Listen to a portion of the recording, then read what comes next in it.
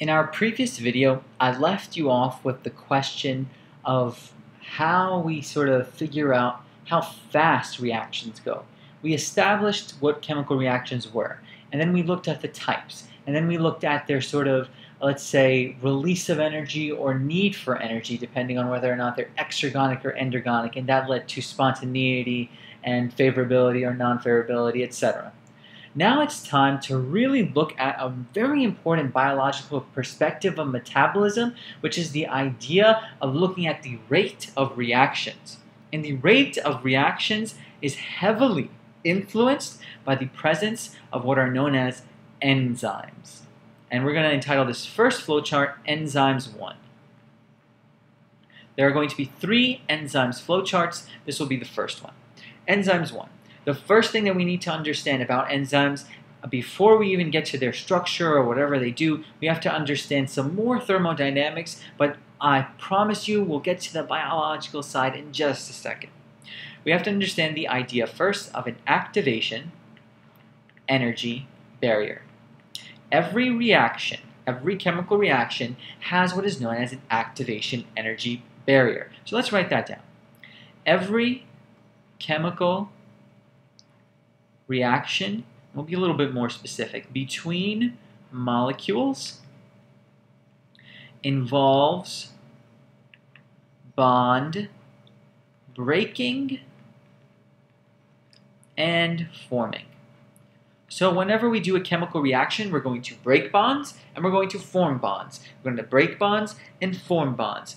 What we have to understand is that activation energy which we'll label out right over here, activation energy from this point forward will be big E, which is energy, of course, and then little a, subscript A.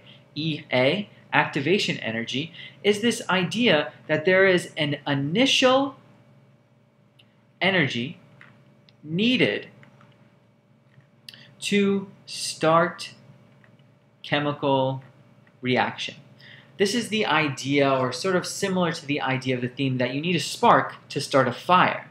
You need an, an activation energy to start a chemical reaction. You need to reach, let's say, for better phrasing would be, you need to reach an activation energy to start a chemical reaction.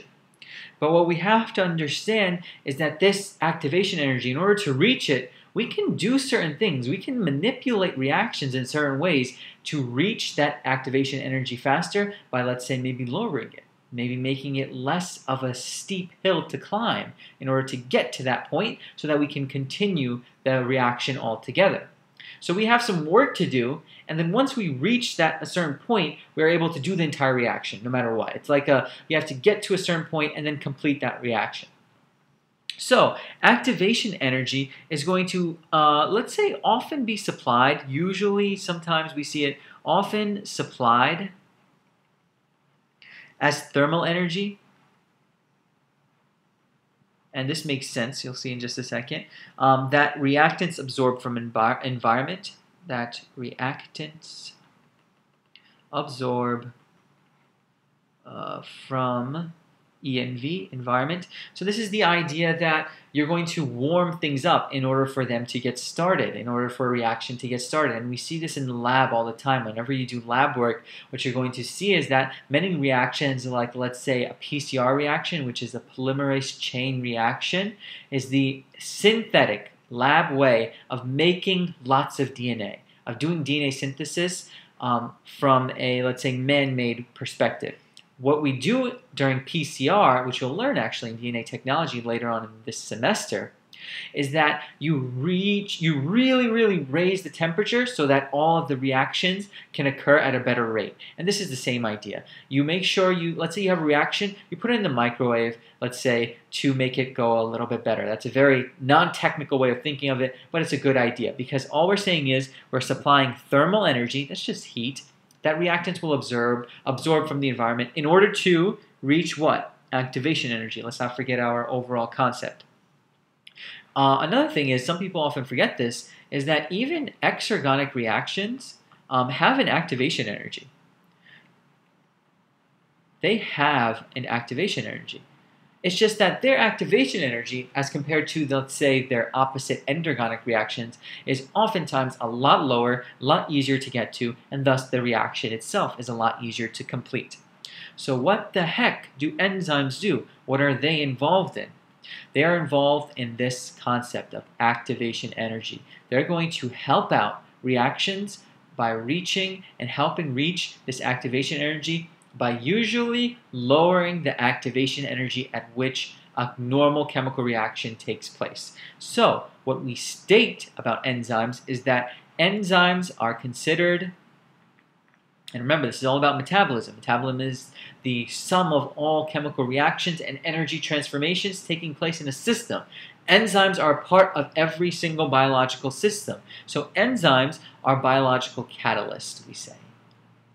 And what do you know about a catalyst? What is a catalyst?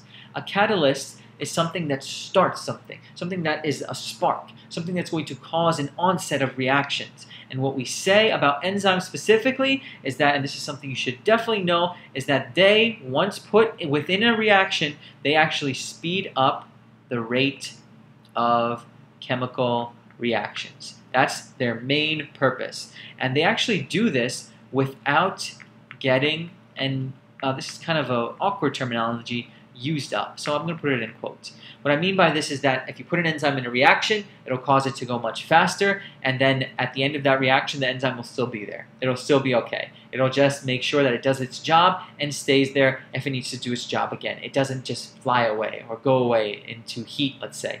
It stays there. It stays there and is still a part of that system. So this is obviously, I think, the most important thing you need to know you need to know that enzymes speed up the rate of chemical reactions, and you can even write down, if you have room here, by lowering activation energy. By lowering activation energy. And um, actually, that is my next point. I forgot. That's the next point. Uh, they lower activation energy. So it's worth writing as another boxed in thing. You have to know that enzymes speed up the rate of chemical reactions. How do they do it? By lowering activation energy. What they do is they bring reacting substances together faster. Bring reacting substances together faster. That basically means they speed things along. If they see two molecules that should be next to each other and interacting and doing something chemically, they say, all right, get together really quickly. And this is all about reaching that point at which um, we're going to have the reaction, reaching that barrier. Every chemical reaction between molecules involves bond breaking and forming. In order for this barrier to be reached, we're going to lower the activation energy so that barrier is reached faster, it's reached more efficiently. Enzymes are the biological catalysts that can do that. In addition, um, as just sort of a sort of a caveat of this is that we have to remember that enzymes can't actually do this. They can't actually cause a reaction to happen just because it's used, just because they're there. Just because, um, let's say they're there. Um, or actually, that's kind of an awkward terminology. Let's say just because it's used. So, enzymes, what I mean by this is simply that a reaction is not going to happen, um, let's say, if an enzyme just shows up. That reaction has to occur by whatever means it normally occurs. The only thing an enzyme will do is speed it up once it starts. And it will speed it up by lowering the activation energy. An enzyme itself, if you put it into a reaction, if you put it into an empty beaker with molecules, will not cause the reaction to happen. The reaction has to happen however it will normally, chemically, biologically happen. The enzyme what it does is make sure that that reaction happens faster because it lowers the activation energy. What you have to remember by this, the technical way of saying this is that the free energy, what did we label free energy again? Delta G, is actually unaffected by catalysts.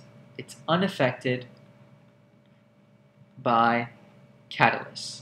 There's a very famous chart, a very famous graph that helps explain this idea in much greater detail, I highly suggest you look at your textbooks um, at the metabolism section, of course, and find that chart. Find that graph that explains that they speed up and lower the activation energy without changing the overall delta G. Okay, so all we're going to say at the end of this sort of comment is that catalysts or enzymes only make reaction um, increase its rate. That's an increase error.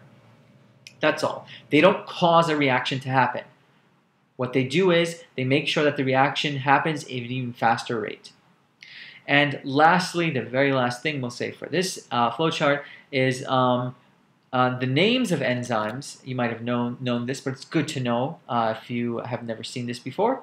The names of enzymes, most people know, um, usually end in what? Usually end in the suffix ase and that line just represents a different word. So lactase is the enzyme that breaks down lactose, and if you are lactose intolerant, you do not have the lactase enzyme. And that's just a general way that we name enzymes. That's a naming convention. So this is enzymes as an introduction. Overall, hopefully you understand from this that enzymes uh, are all about looking at this activation energy barrier. What they do is they make sure that that activation energy barrier is a little bit easier to reach by lowering it and then thus speeding up the chemical reaction. Let's remember that an enzyme will not ever cause a reaction to happen. The enzyme, what it'll do is it'll speed up the reaction if the circumstances are there for the reaction to happen in the first place. And enzymes usually end in the phrase ase.